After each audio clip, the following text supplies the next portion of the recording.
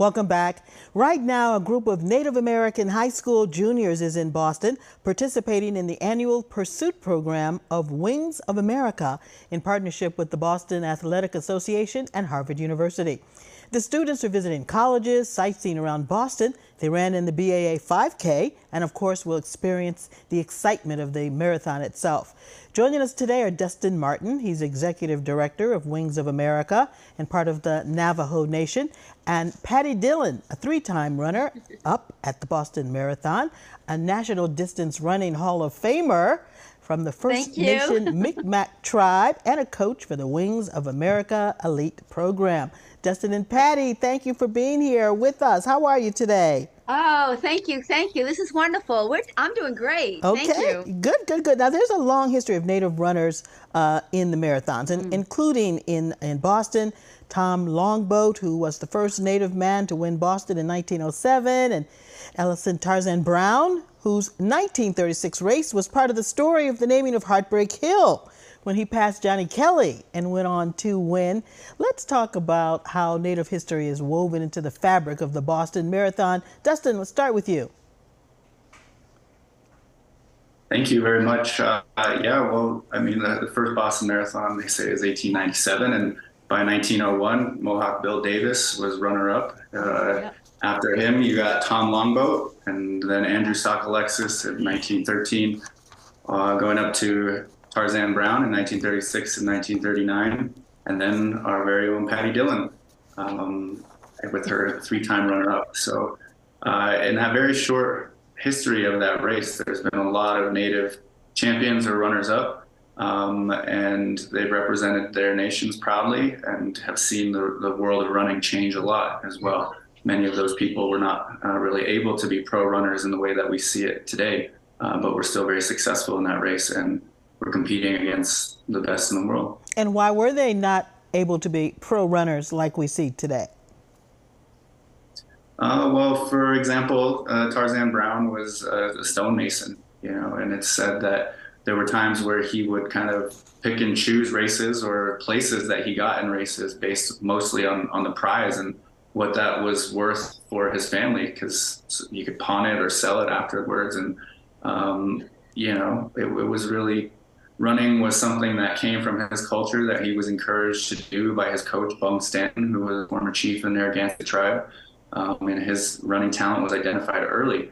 Um, but life was hard on the res, and uh, you know, running running was something I'm sure that offered him many ways to get through that uh, financially as well, and, and that comes to, to prize money. And I guess in that way, maybe professional running is similar, but people can't dedicate their whole life to it. They they got to go back to other things. And in Tarzan's case, it was hard labor. And, yeah. these days, pro runners uh, they really focus on. And I, obviously, the assumption the, the assumption is that some of the um, uh, uh, advertisers, supporters were not uh, drawn to uh, the native runners uh, in the time when they were uh, in their prime, like, like we might see today. Patti, let me ask you the starting line in Hopkinton is on indigenous tribal ground. Do you think the BAA has done enough to acknowledge the history of natives in the marathon? Well, they are starting now. As a matter of fact, there was a uh, later today, there's going to be a panel, and it's going to be on Native American running um, in the Boston Marathon. And they are doing, um, have already done, I think, um, a land acknowledgement where the race goes through the 26 miles and the towns that are on indigenous land.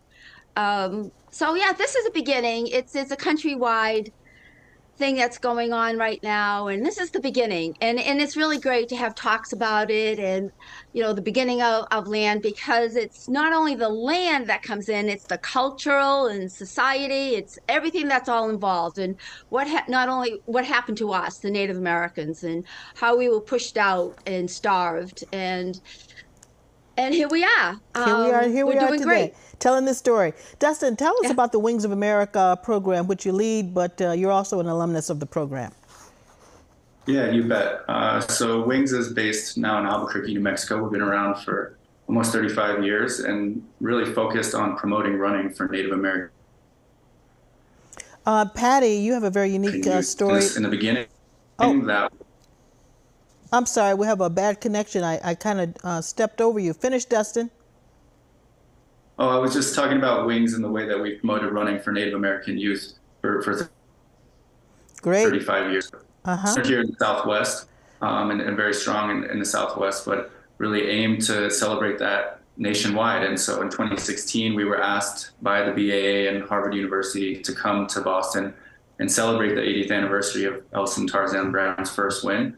Um, and from there, I was able to, to work with the BAA and our wonderful friend there, Suzanne Walmsley, their community outreach director, uh, to talk about, well, what, what next? Okay, Was a we're great effort. 80th anniversary, but is there a way for, for us to bring students back and I'm, I'm has so glad that they're here. program. The, the pictures look great. It looks like the kids are having a great time while they're here. Patti, you have a very unique story about participating in your first marathon. It wasn't something that you had uh, actually planned for.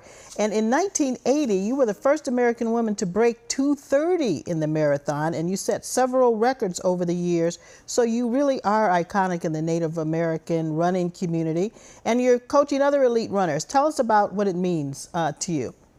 Oh, what it means to me. Oh my gosh, it's such an honor and it's so precious. And I didn't start running to be any kind of forefront pioneer person at all. I started running for very selfish reasons, um, not for traditional reasons, but they ended up being more of that of late. I, I started to, to run, you know, like a lot of people do to lose weight and to get my life in order and be happy. And it's not so much the happiness um, it's a deep sense of joy and satisfaction. And I didn't know that I had a gift of running. People call it a gift, and I, I don't see it. However, um, I have a, I was raised with a good work ethic, ethnic, so I worked really hard. That's great. so no matter what I did, Dustin so and you know, Patti. running is great. Dustin and Patty, thank you for joining us to give us just a hint of the history of what's been going on uh, in the Native American community.